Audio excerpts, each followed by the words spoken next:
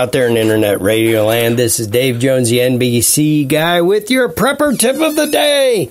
I'm in the office. You hear the squeaky chair? Look, you got to dry fire your weapons. What? Everybody tells me not to dry fire. Look, they are mechanically designed to do 50 to 100,000 times firing. Okay? So, dry firing them is not going to wear out that mechanism. Trust me, if you're if you're not going out every weekend and putting 2 or 300 rounds through that weapon, it is not going to hurt it at all. The utility that you are going to get from carrying it, drawing it, f- aiming, firing is way, way more important than trying to save that mechanism from being dry fired.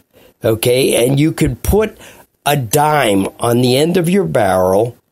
And if you, and keep your sight picture and draw, I mean, f- slowly, trigger control is what you want.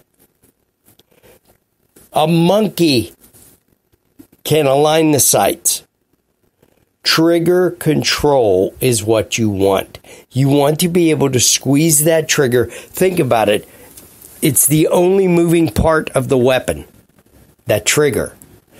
Because once it goes through its mechanism, that bullet is launched and gone. You can't affect it anymore. So you have to get trigger control down. Whatever it is to pull that trigger. And if you put a dime on the end of your barrel and it doesn't fall off as you're squeezing it, squeezing it, it was an exercise that we used to do with a revolver, and we would do it in double action, which means you pulled the cylinder, rotated, and the hammer fell, and the dime never fell off the end of the barrel. So, dry fire away, PBN family. Dry fire away. Get used to carrying your weapon, however you're going to carry it. Get used to the mechanism of it.